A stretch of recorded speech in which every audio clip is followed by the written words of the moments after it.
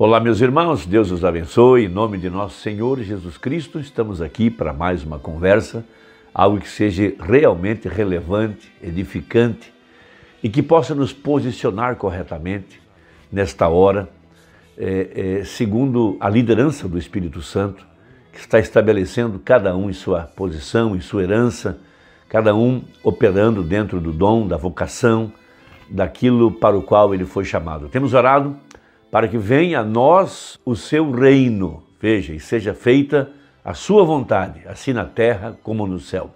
Se há um reino, então tem que haver um rei, e esse rei é Jesus Cristo, nesta hora, em forma de Espírito Santo, e ele está reinando em nosso coração para estabelecer a vontade de Deus em nossas vidas, para que possamos dizer: já não sou eu quem vivo, mas Cristo que vive em mim. E esse é um ponto muito sensível, porque Satanás está o tempo todo, veja, pelejando contra nós, nesse campo de batalha que é a nossa mente, diariamente, para afastar a liderança, afastar o controle, afastar o Espírito Santo da nossa vida. E ele está ali pelejando, porque ele quer tomar o controle.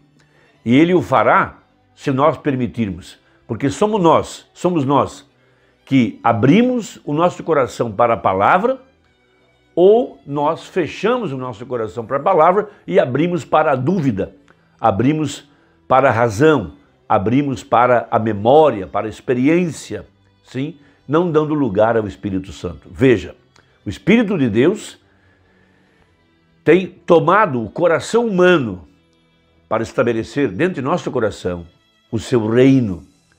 Por isso, a oração de Jesus Cristo, que deve ser feita continuamente por cada um de nós.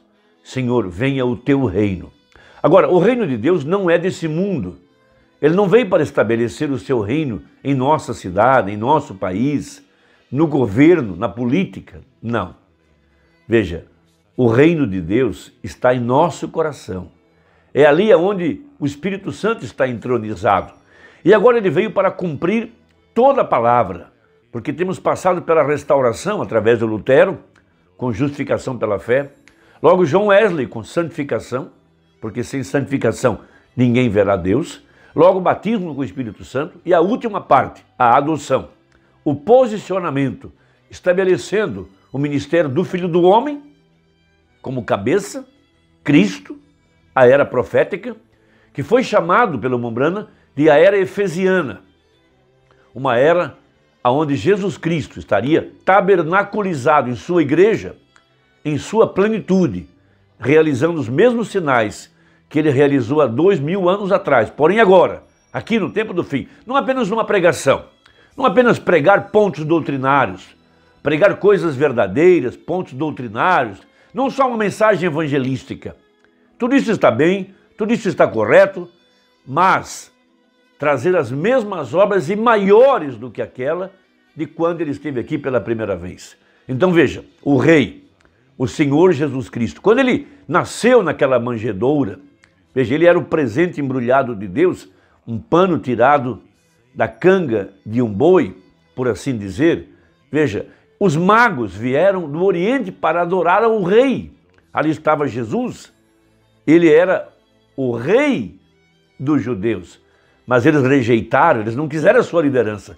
Eles pensaram que a liderança de Jesus seria uma liderança político-religiosa, tipo aquela de, de, de, de, daquele líder político que trocaram Jesus por Barrabás. Ele era um líder político, um líder religioso do seu dia. Eles pensaram que o reino de Deus era um reino político, um reino material. Mas Jesus disse: O meu reino não é desse mundo. Então, da mesma forma agora, Veja, o reino de Deus ele não é desse mundo. Ele não está aqui para estabelecer a, a política de A ou B. Ele está aqui para estabelecer a liderança do Espírito Santo em nossos corações. E essa é uma guerra diária, no campo de batalha que é nossa mente.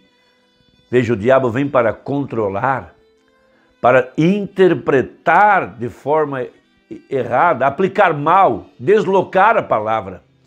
Veja, com isso então ele toma o controle. Mas o Espírito Santo está aqui. Nesse tempo do fim, o Rei, porque vimos a sua estrela e viemos adorá-lo. E aonde eu vou para adorá-lo? Aqui dentro em meu coração. É aqui onde está o trono de Deus, é aqui onde está o reino de Deus, é aqui onde ele é rei. Ele pode não ser rei para a minha cidade, para o meu país, mas aqui dentro, e dentro de você, e dentro de cada crente verdadeiro, ele é o rei. Porque primeiro ele estabelece o seu reino dentro do homem, e depois ele vai estabelecer o seu reino na terra onde esse homem irá governar. Então, primeiro o reino de Deus vem a nós. Jesus disse: venha a nós primeiro.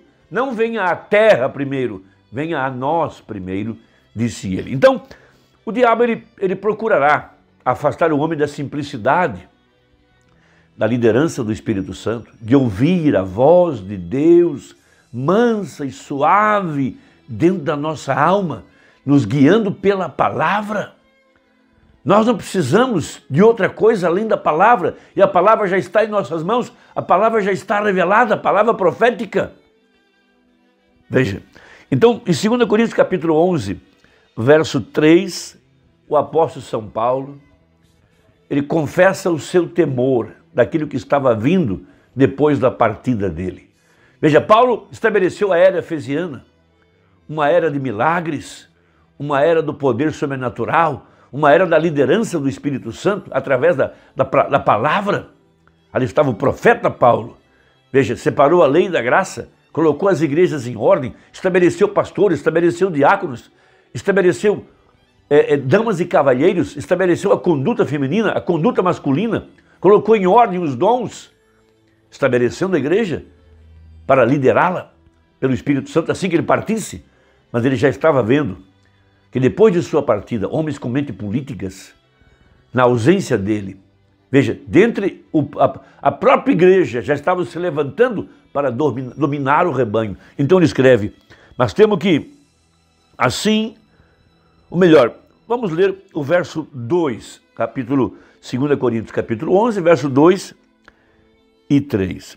Porque estou zeloso de vós com o zelo de Deus. Ele podia dizer, já não sou eu quem vivo, é Cristo quem vive em mim. Porque vos tenho preparado para vos apresentar como uma virgem pura a um marido, a saber, a Cristo. A verdadeira igreja será uma virgem para a palavra. Por isso, em Mateus 25, ouvimos o anúncio: aí vem o esposo. E as dez virgens se levantaram, cinco prudentes e cinco nécias. As prudentes levaram azeite em suas vasilhas, as nécias só tinham conhecimento. Mas à medida que, que chegou a hora das bodas do cordeiro, a Nécia não tinha mais azeite, ela estava confusa. Ela tinha seguido falsos líderes, falsos apóstolos, falsos profetas. E aquilo que ela foi buscar, ela não obteve. E quando ela chega, a porta já estava fechada. E ela não pôde entrar. E Jesus disse para a Virgem Nécia: Vigiai, porque vocês não sabem o dia e a hora em que o Filho do Homem há de se manifestar. Ou seja, não entraram para as bodas, não entraram para o casamento, não receberam a semente da palavra, não casaram, não receberam a cabeça, porque a, o, o, o marido é a cabeça da igreja, não puderam receber a cabeça quando ela vem em 63, não puderam crer. Estão seguindo lideranças humanas, ali foram enganadas. Veja, mas temos que, assim como a serpente enganou Eva com a sua astúcia, assim também sejam de alguma sorte corrompidos os vossos sentidos. Quais sentidos? Visão, audição, tato, paladar, olfato, mais ainda, memória, razão, afeto, consciência, imaginação. Veja, os vossos sentidos e se apartem da simplicidade que há em Cristo. É algo muito simples, muito sutil, muito sensível ter uma liderança, um guia interior, ser liderado pelo Espírito Santo. Parece algo muito simples, até irresponsável, mas essa é a maneira que Deus está conduzindo sua igreja.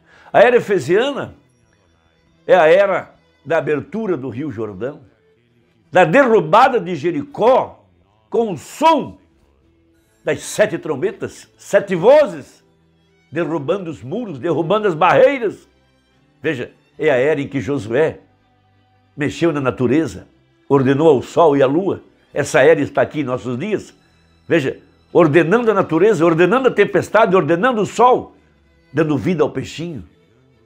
Veja, trazendo esquilos pelo poder da palavra falada, trazendo outra vez a liderança profética, o anjo do Senhor, o Espírito Santo, liderando o profeta para esse dia, como liderou Josué. Essa é a era efesiana. O mesmo anjo que guiou Josué, o Espírito Santo, é o mesmo anjo que está aqui no tempo do fim, liderando a igreja. Liderou o seu profeta e agora está liderando a igreja. Porque essa é a forma perfeita. Simples, porém real. Simples, porém correta. Então veja a mensagem à era de Éfeso, página 75, falando a respeito desse poder do diabo que estava sendo introduzido no meio da igreja e mostra o profeta o que é de fato uma era efesiana. Muito bem, agora qual era o crime espiritual dessa igreja? Ela tinha deixado o seu primeiro amor. Veja, deixar o seu primeiro amor da palavra de Deus nos foi revelado como sendo a queda de sua origem, a qual foi o Pentecostes. Veja, quando a serpente colocou uma interpretação na palavra, Eva foi pregar o evangelho para o seu marido. Quando uma mulher vai buscar um conselho com outro homem que não é seu marido, ela já tem um espírito de adultério.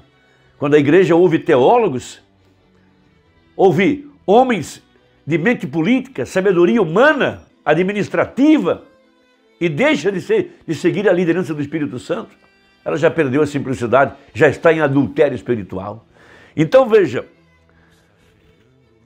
em linguagem clara, isso significa que esta igreja estava em perigo de ser retirada da liderança do Espírito Santo, o controle do Espírito. Foi exatamente isso que aconteceu depois que Moisés guiou Israel para fora do Egito. A maneira de Deus era guiá-los através da nuvem de fogo, veja, da palavra profética, de milagres e sinais e prodígios dados por Deus. Deus confirmando a pregação, confirmando a palavra, com sinais e maravilhas. Veja, sete anjos, sete lâmpadas, sete vozes, sete espíritos liderando a igreja. Veja, com o poder da palavra profética, com sinais e maravilhas de Jesus ressuscitado, para mostrar que não eram, não eram homens, era o Espírito Santo. Veja, a maneira de Deus, então essa é a palavra, isto era para ser realizado por homens selecionados por Deus e ordenados por Deus e equipados por Deus. Veja, e enviados por Deus, com todo o acampamento sendo dominado por um movimento do Espírito Santo. Essa é a igreja efesiana. Eles se rebelaram e quiseram um conjunto de regras e credos para se guiarem. Depois eles quiseram um rei. Depois eles quiseram ser exatamente como o mundo e entraram em completa apostasia e esquecimento e é exatamente assim que a primeira era da igreja começou e ficará gradativamente pior até que o Espírito Santo seja completamente rejeitado e Deus precise destruir o povo. Estamos numa hora, desde 2019, tudo que pode cair está desmoronando, a política está desmoronando, a igreja está desmoronando, líderes estão desmoronando, a terra está desmoronando, as potências do céu estão sendo abaladas apenas o reino de Deus não será abalado. Espero que essa conversa tenha ajudado. Deixa aí o seu comentário, é muito importante para nós saber o que você pensa. E até a próxima, se Deus quiser, em nome de Jesus. Amém.